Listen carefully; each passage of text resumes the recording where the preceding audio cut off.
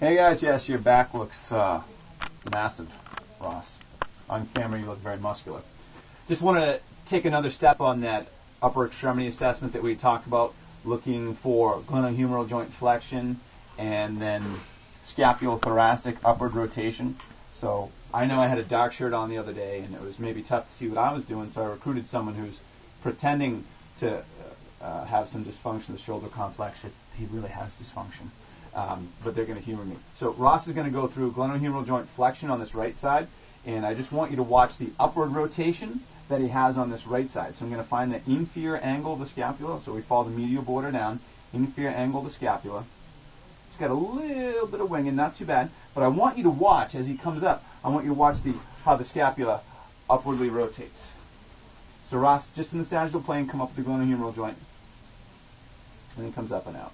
So I'm just going to follow him right where he goes, up and out, and down and back. So give me two more of those. Just following where he goes, how that inferior angle kicks out to the side. So if he were to do a lat pull down or a pressing movement, um, anything up overhead or slightly in front of him, that scapulothoracic joint will glide nicely across the thorax to be able to distribute load through the shoulder complex, be friendly on the bursa sacs, tendons, and ligaments.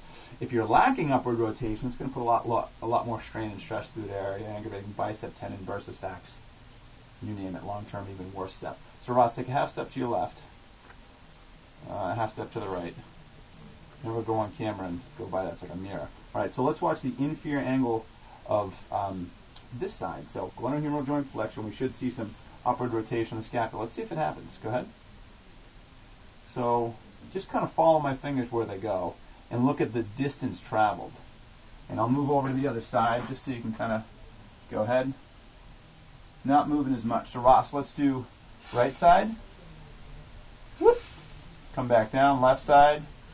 Oh. Right side. Whoop. Moves pretty good. Left side. Oh, it gets a little stuck. Ross has done a lot of these, so it might have softened up just a little bit. But Ross, you're you're good. You can step to your right, unless you just want to stand there and look massive. so the importance of upward rotation along with glenohumeral joint flexion. Make sure that we're supporting the passive structure in the shoulders. Doing a quick screen like that can help you assess if someone has trouble upwardly rotating the scapula. If someone's having trouble upwardly rotating the scapula, could be a fascial restriction, a muscular restriction, could be um, uh, inhibition of the upper rotators, could be weakness of the upper rotators, uh, could be dysfunction elsewhere in the body. But it's a good, quick, easy screen if someone's got tightness in the shoulders or impairment, a shoulder impairment, uh, or just for yourself if you're kind of stuck and can't upwardly rotate. So try that one. Thanks for watching, and uh, thank you much, Ross.